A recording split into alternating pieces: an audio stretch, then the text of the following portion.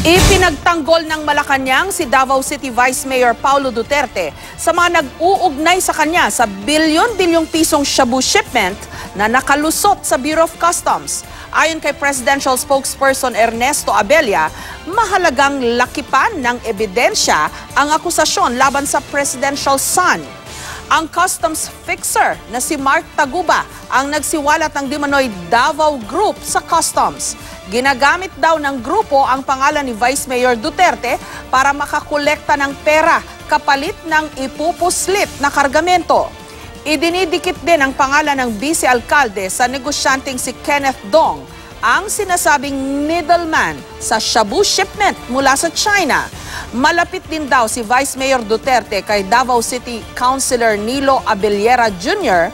na tumanggap din daw ng lagay mula kay Taguba. Sinusubak, sinusubukan pa rin po naming makuna ng pahayag si Vice Mayor Duterte. Everything has to be vetted. Everything, uh, even if uh, somebody says, uh, or makes some form of uh, implication, it still has to be vetted, especially the witness.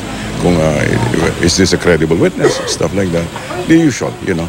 And uh, again, there has to be uh, verifiable, uh, verifiable evidence. Hindi lang basta hearsay.